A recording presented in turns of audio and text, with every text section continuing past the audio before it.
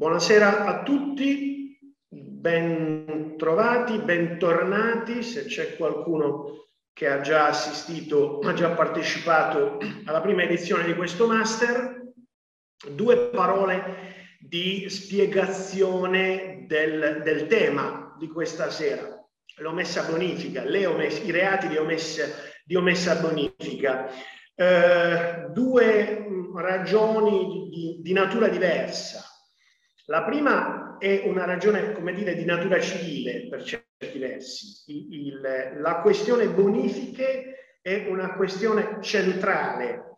eh, sotto il profilo ambientale e sanitario in un paese come l'Italia nel quale la contaminazione ambientale in interi territori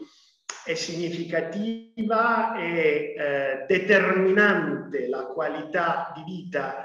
di tante persone e quindi le eh, bonifiche che si facciano o soprattutto che non si facciano determinano a loro volta effetti importanti eh, di natura ambientale e sanitaria in quei territori. Eh, per dare un'idea di quello di cui sto parlando, qualche giorno fa è stato presentato il sesto rapporto Sentieri che è uno studio epidemiologico che si occupa degli effetti sanitari delle contaminazioni più importanti in vari territori di questo paese, eh, in particolare nei cosiddetti SIN, nei siti di interesse nazionale. Eh, peraltro vi parlo da Brindisi che è uno di questi 42 SIN. Il sesto rapporto Sentieri ha ancora messo in evidenza, anche in questo caso, effetti sanitari importanti con elevata probabilità collegati a situazioni di contaminazione ambientale altrettanto importanti in determinati, ma non pochi, non residuali territori di questo paese, il che vuol dire che determinanti sono state anche molte volte le bonifiche e soprattutto le omesse bonifiche. La seconda ragione per la quale vi voglio, eh, vi, vi parlo stasera di omessa bonifica, di reati di omessa bonifica, è di natura più strettamente giuridica. Il tema delle omesse bonifiche, il, il reato, i reati di omessa bonifica sono eh, paradigmatici del rapporto tra la vecchia tutela penale dell'ambiente, quella per capirci ante 2015, prima della legge eh, cosiddetta ecoreati, e poi invece la tutela penale garantita proprio dalla legge ecoreati, più precisamente il rapporto fra la tutela penale dell'ambiente garantita per così dire dal cosiddetto testo unico ambientale, cioè il eh, decreto legislativo 152 del 2006 e la tutela ambientale invece garantita dalla legge 68-2015 che ha poi introdotto i, nel nostro codice penale i delitti contro l'ambiente, dei quali ci siamo già occupati diffusamente nella prima edizione di questo master. Prima di venire al merito della lezione di stasera, una precisazione rispetto alle, alla questione domande a cui faceva riferimento Giuliana nella sua introduzione. Eh, se ci stiamo con i tempi, io volentieri risponderò a qualche domanda, come dire, in diretta.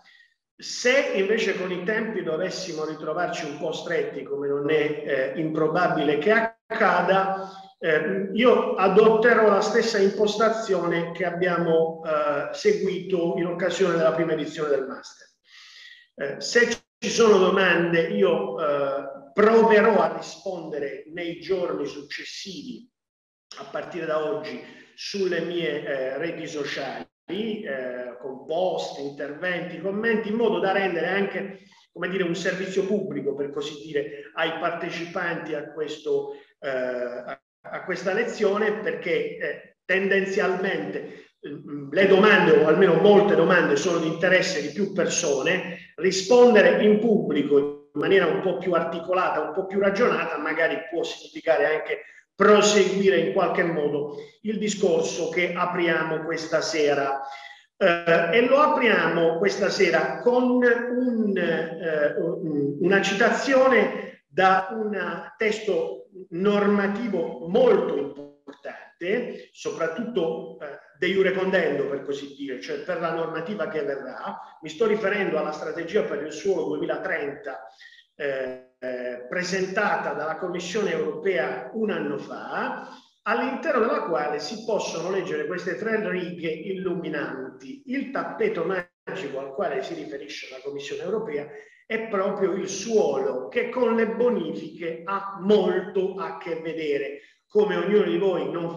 faticherà, suppongo, a realizzare di suo da subito, ma soprattutto come vedremo nel prosieguo di questa chiacchierata.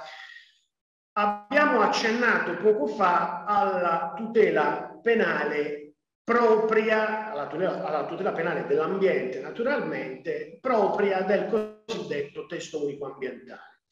Stefano, e, scusami, scusami sì. se ti interrompo, riesci a mettere le slide in modalità presentazione? Per favore, grazie. Grazie. Benissimo.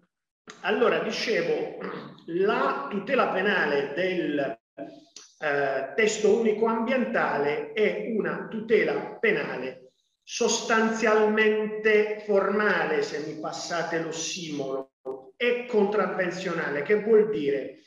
Formale vuol dire semplicemente questo. Uno, è essenzialmente basata su limiti di emissione, alla violazione dei quali scatta la sanzione penale, per così dire, indipendentemente dall'effetto concreto, dall'effetto di danno che quella violazione ha comportato sulla matrice ambientale in questione, ma c'è anche una seconda eh, interpretazione dell'aggettivo formale con riferimento alla tutela garantita dal TUA ed è questa. La, le sanzioni penali del TUA, a ben vedere, non hanno come bene giuridico tutelato direttamente e in prima battuta l'ambiente. Le sanzioni penali del TUA hanno come bene giuridico tutelato essenzialmente la potestà autorizzatoria della pubblica amministrazione, a valle della quale al massimo si può immaginare una forma di tutela indiretta del bene ambiente, ma nella misura in cui si punisce la violazione di un limite tabellare che per esempio è contenuto in un'autorizzazione o nella misura in cui si punisce la violazione di una prescrizione contenuta in un'autorizzazione o ancora di più nel caso più grave nella misura in cui si punisce l'esercizio di un'attività che è soggetta ad autorizzazione amministrativa in assenza dell'autorizzazione stessa, è evidente che si sta tutelando in prima battuta la potestà autorizzatoria della pubblica amministrazione. Tutela di natura contravvenzionale, in che senso? Nel senso che praticamente tutte la stragrande maggioranza, salve un paio, delle fattispecie di reato contenute nel testo unico ambientale sono di natura contravvenzionale. Non v'è chi non veda come usa dire che la natura contravvenzionale non è precisamente sinonimo di effettività della tutela per le millanta ragioni che sono proprie delle contravvenzioni nel nostro ordinamento penale, che sono, le possiamo definire così senza tema, come dire, di eh, eh, eh, forzatura enfatica, sono reati di serie B, a fronte dei delitti che invece sono i reati di serie A tipici del nostro ordinamento, questa natura, come dire, secondaria per certi versi o comunque non è, è, è esattamente eh, prioritaria del, nel nostro ordinamento della contravvenzione, a cascata produce una serie di effetti concreti eh, dalla possibilità di oblazione quando la sanzione eh, penale sia alternativa, cioè o eh, la sanzione detentiva o la sanzione pecuniaria o addirittura quando ci, ci si trovi di fronte soltanto ad una sanzione di natura pecuniaria, all'altro effetto, come dire, devastante per definizione sotto il profilo dell'effettività della sanzione eh, della contravvenzione, ossia la prescrizione. I termini di prescrizione in quattro anni aumentabili di un quarto in presenza di atti interruttivi, quindi cinque anni al massimo, la contravvenzione si estingue eh, per eh, decorso del tempo e quindi mh, è evidente che una non tutela anche sotto questo profilo quella che viene garantita da una sanzione, da una fattispecie di natura contravvenzionale che è quella, che è quella regolare all'interno del TUA. Per venire più direttamente al tema della serata, cioè l'omessa bonifica, eh, si deve fare un cenno veloce ad una significativa variazione di registro, per così dire, che si è registrata nel nostro ordinamento eh, ambientale nel passaggio tra il vecchio eh, decreto Ronchi e l'attuale testo unico ambientale. Con il decreto Ronchi, più precisamente eh, decreto legislativo 2297, il eh, eh, reato di inquinamento di omessa bonifica aveva come presupposto della condotta mm, un semplice pericolo concreto e attuale di inquinamento. Quindi la tutela penale era in qualche modo anticipata, molto anticipata rispetto a questi parametri, diciamo, eh, eh, processuali e temporali, che sono quelli tipici del TUA. Eh, la bonifica postula un inquinamento che può di un determinato sito che può avvenire solo tramite il superamento delle cosiddette concentrazioni soglia di rischio. Le definizioni più significative in questo um, campo, in questa materia, le trovate nell'articolo 240 del decreto legislativo 152 del 2006. Io qui vi ho riportato soltanto alcune delle definizioni più rilevanti ai fini nostri di questa sera, per esempio le eh, concentrazioni soglia di contaminazione, le cosiddette CSC, che costituiscono il primo gradino, il primo passo del potenziale ipotetico procedimento di bonifica disciplinato dall'articolo 242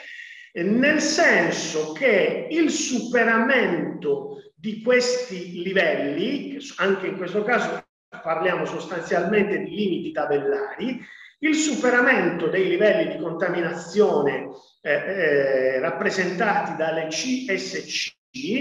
mette in moto eh, non già direttamente il procedimento di bonifica in senso stretto, ma mette in moto il procedimento di caratterizzazione del sito e di analisi di rischio sito specifica, che è la prima parte del procedimento mh, mh, di bonifica. Non è scontato che a valle di questa prima parte del procedimento poi ci sia effettivamente la fase della bonifica. Perché? Perché il eh,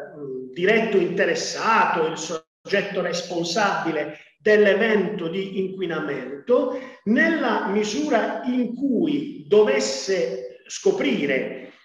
all'esito del, eh, del, della indagine preliminare per accertare i livelli di CSC, nella misura in cui dovesse riscontrare che questi CSC non sono, questi livelli non sono stati superati, eh, può limitarsi a ripristinare la zona contaminata e autocertificare, anche se ovviamente questa autocertificazione poi è soggetta ad un controllo da parte degli enti preposti. Se invece riscontra a valle di questa eh, indagine che lo stesso soggetto avrà realizzato un superamento delle CSC, si parte con il eh, procedimento di il piano cosiddetto di caratterizzazione e successivamente l'analisi di rischio sitospecifica previa immediata notizia al comune e alla provincia.